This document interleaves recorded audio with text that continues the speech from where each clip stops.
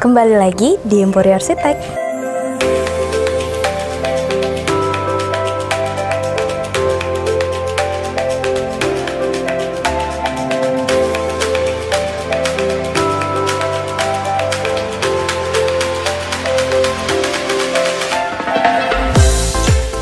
Everyone, kembali lagi bersama Sang Ayu di sini dan kali ini kita akan kembali mengunjungi rumah Ibu Mira.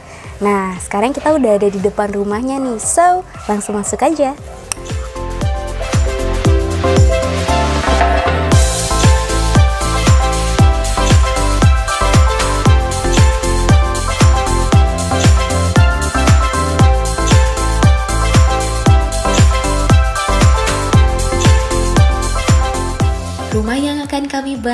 Kali ini mungkin sudah tidak asing lagi bagi Anda yang selalu mengikuti video kunjungan kami. Ini dia rumah mewah Ibu Mira. Rumah klien kami Ibu Mira ini berdiri di atas lahan 1081 meter persegi dengan luas bangunan 670 meter persegi.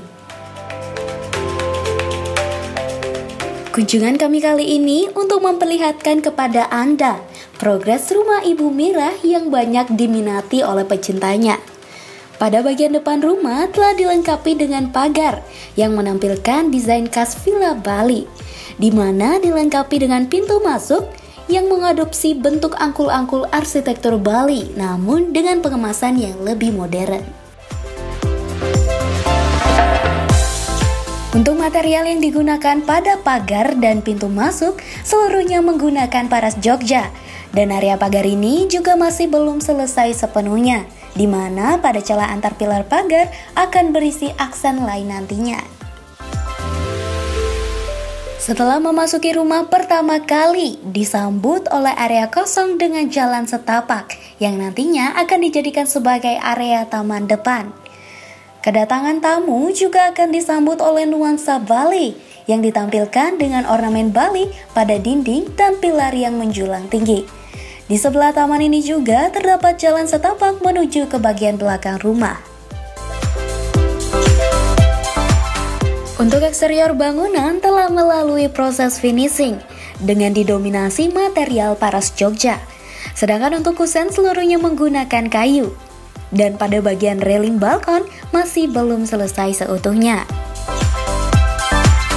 Di sisi lain teras rumah terdapat carport, di mana gerbang carport masih dalam proses pengerjaan. Pada area carport sendiri menggunakan atap dap beton yang dikombinasikan dengan kaca pada bagian tengahnya, sehingga area ini tampak sedikit lebih ringan dan memungkinkan tetap memperoleh pencahayaan alami.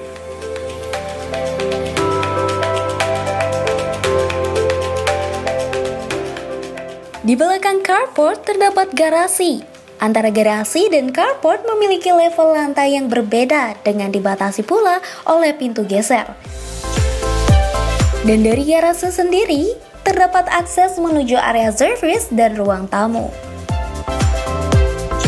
Kembali ke area teras rumah yang tampak megah dengan dua pilar besar dengan finishing batu paras Jogja yang dipercantik pula oleh ornamen Bali.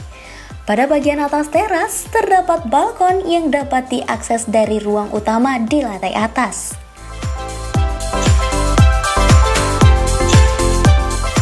Dari teras masuk ke ruang dalam.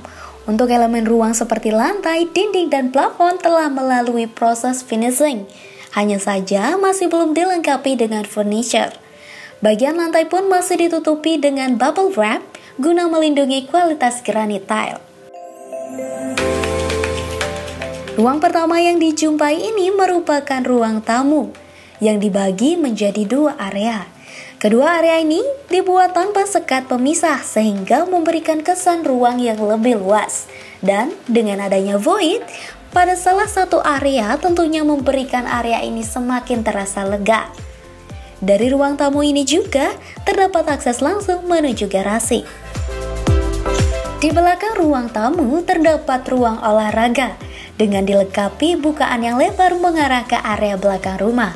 Terdapat pula koridor yang mengarah ke ruang utama, yaitu berupa area dapur bersih, ruang makan, dan ruang keluarga yang dibuat menyatu tanpa sekat.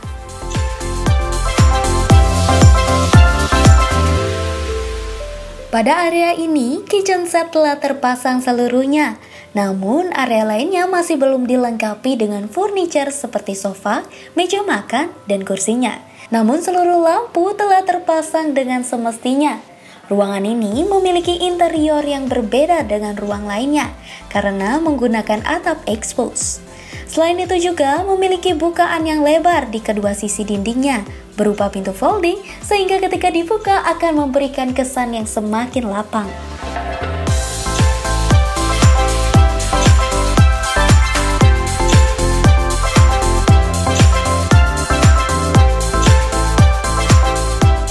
Beralih ke kamar tidur utama yang juga terletak di lantai dasar.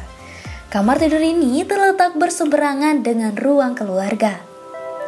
Pada kamar tidur utama telah dilengkapi dengan furniture namun belum tertata dengan baik.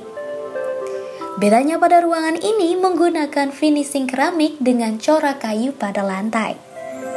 Kamar tidur utama ini juga dilengkapi dengan kamar mandi dalam yang telah siap digunakan dengan tampilan interior yang lebih berwarna tentunya, di mana seluruh dindingnya menggunakan keramik dengan perpaduan beberapa warna cerah.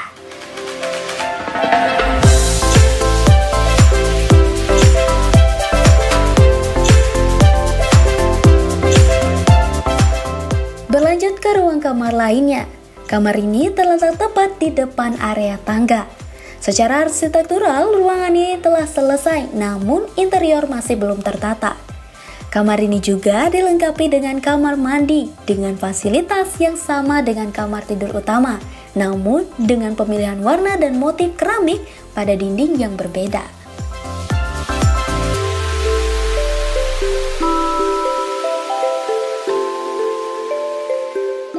Beranjak keluar kamar, terdapat area tangga dengan powder room yang terletak di bawahnya.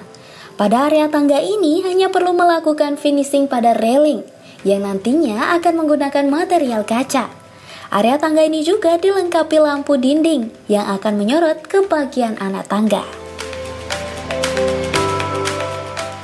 Untuk di lantai atas sendiri sudah cukup bersih, Seluruh kusen yang sebelumnya masih dalam proses pengerjaan kini telah terpasang rapi lengkap dengan kacanya. Hanya saja pada railing yang ada di area ini masih belum dilengkapi dengan kaca, baik railing area void maupun balkon.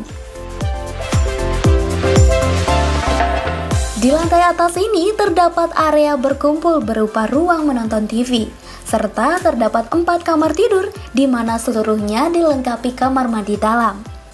Beberapa di antaranya telah dilengkapi dengan furniture seperti lemari dan tempat tidur, namun belum melalui proses penataan. Pada bukaan, di setiap ruangan pada rumah ini telah dilengkapi dengan gorden, begitu pula dengan lampu dan AC yang telah dipasang dan sudah siap digunakan. Berlanjut ke area belakang rumah, terdapat halaman dengan tempat suci pada bagian sudut timur laut dari lahan ini. Dan di area paling belakang bangunan rumah, tepatnya di bagian barat, difungsikan sebagai area midroom dan kamar mandinya.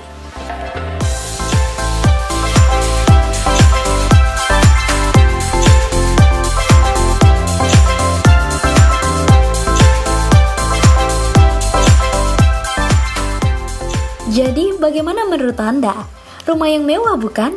Maka mari segera wujudkan hunian impian Anda bersama kami, Emporio Arsitek. Oke, itu dia tadi progres rumah dari Ibu Mira yang sebelumnya memang sudah sempat kami kunjungi. So, gimana menurut kalian? Nah, kalau kalian suka video ini, jangan lupa untuk subscribe channel kami dan nyalakan loncengnya. So, thank you for watching and bye!